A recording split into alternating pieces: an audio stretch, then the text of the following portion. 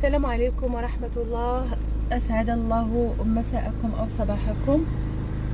اليوم إن شاء الله حبيت أنني نتواصل معكم يعني مباشرة وأنا يعني سايقة أول مرة. غنتواصل مع جمهوري وأنا أسوق لأن الوقت لا يحتمل ويعني آه، وخصوصا بعد إنشاء آه، يعني شركة البخور والله العظيم لا يسع الوقت ولكن هناك رسائل كثيرة جدا جدا وردت علي. آه هذا الأمر هو اللي جع هو اللي جعلني أنني نتواصل معكم بهذه الطريقة. يعني لأن ما كاينش وقت وأنا خلاص ما كنعرفش نسوق بزاف وأنا كنتكلم. فالمهم إن شاء الله بإذن الله سأحاول أن أوصل الرساله فكيف ما قلت لكم بعد ما آه، عطيت الرقم أو لو بديت كنوضع الرقم ديال الواتساب على الهاتف. للناس فكيتواصلوا معايا مئات الرسائل والرسائل كلها تدور في منحنى واحد وهو العكوسات التعكيسات السحر آه، الناس مرض الناس يعني عندهم عكوسات عندهم نحوسات عندهم أمراض غير طبيعية يعني ما غير مبررة طبيعيا أو طبيا. فبعد ما عملت يعني بزاف أو الكثير من الكشوفات. كشوفات تظهر أنه أغلب الحالات ليس لها ليس فيها سحر وليس عندها اي أي سحر. هناك بزاف أو العديد العديد العديد الناس اللي يعتقدون أن هناك سحر. ولكن والله العظيم ما فيش سحر. يعني ماذا نجد؟ أجد أن هناك طاقة سلبية وأن هناك عين وأن هناك يعني آه عوارض أو موانع بسبب عمار البيوت. بسبب عمار البيوت. يعني كان كيوجد الشخص نفسه أنه كان مثلا آه، خدام مزيان كل شيء غادي في الأمور مزيان على أحسن ما يرام. ولكن لفجأة تنقلب الأوضاع راسا على عقب. فأول شيء كنبغي أو أحب أن أذكر به الناس. هو طاقة البيوت. طاقة البيوت والله العظيم يعني أجد أشياء رهيبة. فاللي بغي نقول لكم جمهوري الحبيب نحن مسلمين. والله العظيم أجد أن اليهود والنصارى ليست لهم أو لديهم مشاكل كما توجد لدينا. يعني إحنا يعني المفروض أننا نكون عايشين في سعادة مع الله سبحانه وتعالى لأننا مسلمين نصلي نصوم نتصدق يعني أمور المفروض أننا نكون عايشين. ما كان الله ليعذبهم وأنت فيهم وما كان الله ليعذبهم ويستغفرون يعني الاستغفار أول شيء شيء. ثاني حاجة يعني آه آية أخرى تقول سمحوا لي. قلت لكم أنا ما كنعرفش نسوق وأنا كنتكلم. بسم الله. آه آية يقول فيها الله سبحانه وتعالى آه وما يفعل الله بعذابهم وما يفعل الله بعذابكم إن شكرتم أو وآمنتم يعني الله غني على أنه يعذبنا وأنه ولكن من نفوسنا اقسم بالله العظيم إلا الأمور كلها هي جاية والمشاكل كلها هي جاية من نفوسنا. فالأمر بدون ما نطول عليكم.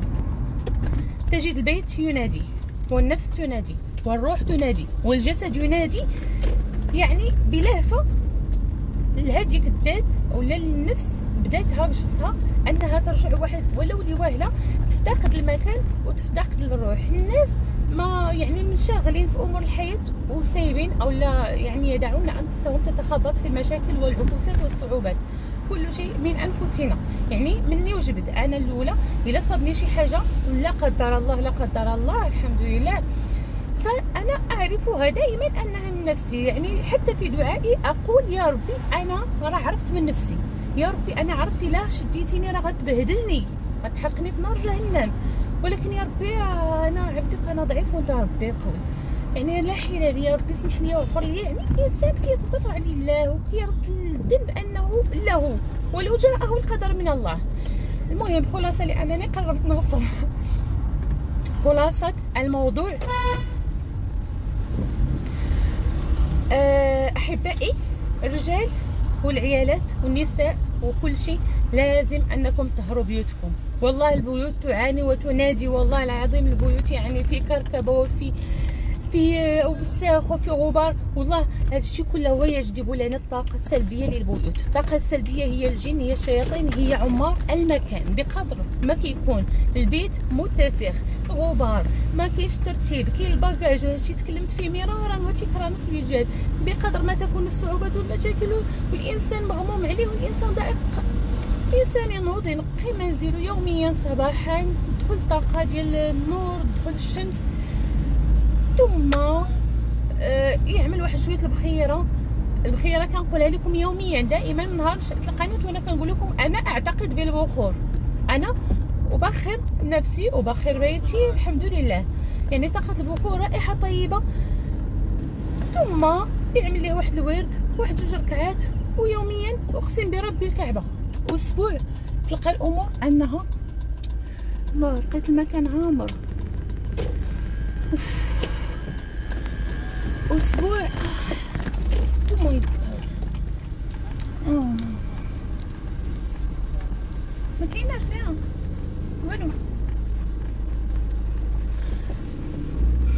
أسبوع تلقاو نفوسكم أنها أمور لا لا غنمشي ليها الظليل هنا الشمس بزاف. بإذن الله تلقاو أو لا توجدوا.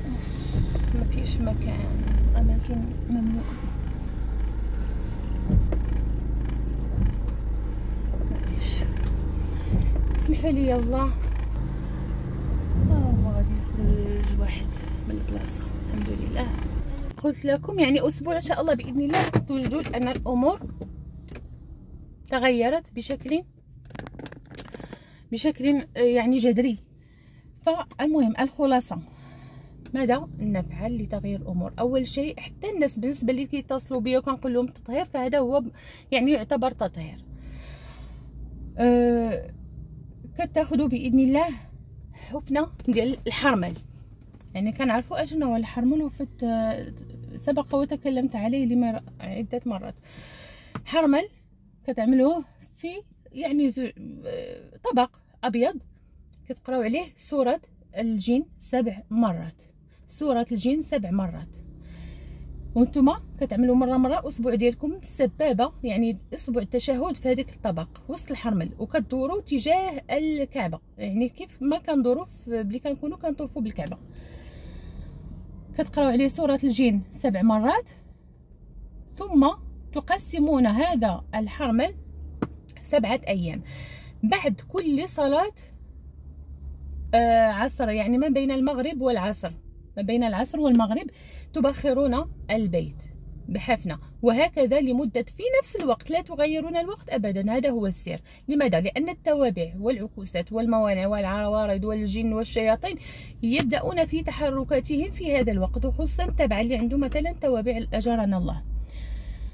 فهذا الوقت ما بين قبل المغرب يبدأون النشاط حقهم يعني كيبداو النشاط ديالهم في آه، العكوسات وفي آه، إلحاق الأذى ببني آدم. فهذا الوقت حنايا كنعملوه دائما لتوقيف السحر لتوقيف الظالمين لتوقيف كذا لتوقيف كذا.